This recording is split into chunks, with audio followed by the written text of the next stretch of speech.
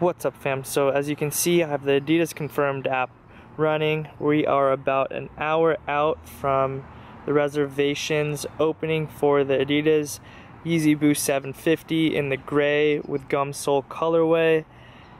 As you can see here I am within my zone in Orange County. Got an 8.5. Yeah man, I've, I've just heard just um, good stories and bad stories with the Adidas Confirmed app. This is actually my first time giving it a go. I'm actually headed on to take my lunch right now from work. Hopefully, by the time I get back, it'll be about that time to reserve a pair. And yeah, hopefully, we have no glitches or technical errors or anything of that nature. It'd be super, super great to to pick up a pair of these, man. Obviously, I'm copping to wear, not to sell.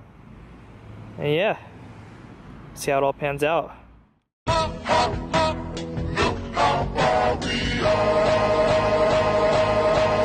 Perfect.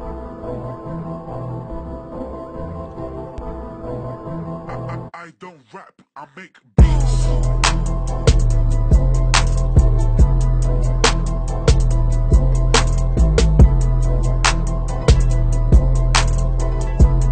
Two thousand years later.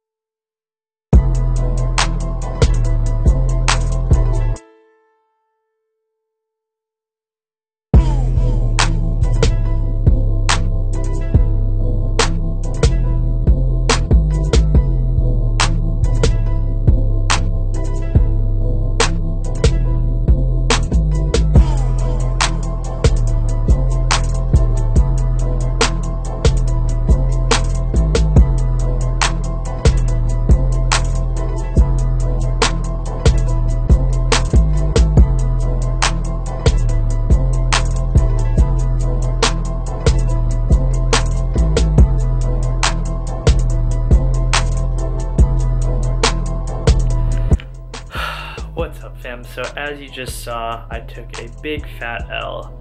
Here is the current screen I'm looking at, and as it states, there are no more Yeezys to put on reserve.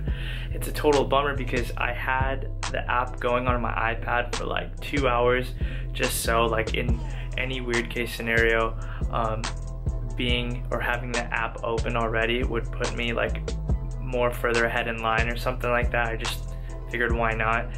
Um, I had the phone going. Of course, it's highly advisable to be on LTE, so I had the iPad on Wi-Fi and the phone on LTE. But unfortunately, still took an L. It was wicked fast, guys. Like honestly, um, that that message came up probably so it stalled at eight seconds and i want to say that the stall lasted probably all of that eight seconds if not more. And i got prompted as you saw to have them search for my size. And a lot of people didn't even get to that level. And then i got that that message. So looks like we're not off to a good start with the Yeezy release. I thought this was gonna be like the best way to get it, but evidently not. I was just hoping that um, I could make a video that you know there's a lot a lot of cities that don't have the confirmed app, and yeah, I just wanted to show you guys. I don't know it, if it actually works, and my my thought process is it does work. Maybe there's some of you out there that have uh, been able to reserve. Comment down below if you were, um, or if you weren't. Just let me know. Uh, oh, know like how you guys um, turned out if you uh, use the confirm app on a consistent basis and if you ever take W's on them I would definitely like to hear that because um, that was that was crazy. I honestly don't think it's it's possible. It's it's just that was very very fast. Um, all things considered I am still hopeful hopefully. Um, you guys can pick up a pair. Hopefully I can pick up a pair and we can all have uh, but to be honest with you, man, like my thought process right initially was Adidas really, really has us by the throats. That like literally can do anything they want to us, and the demand is so high that um, they can do that. and they got they really don't have anything to lose. All their shoes are gonna sell regardless. So I don't know, just my little rant. Anyways, I hope you enjoyed today's quick little video. Actually, wasn't intending on doing it, but I figured um, there's people out there who uh, don't have access to the Adidas Confirmed app, I'm here to tell you that it is not much better for us. So yeah, anyways, that's gonna be today's video. Thank you so, so much for stopping by the channel once again. And as I end every video, I'm gonna say peace, and be blessed fam.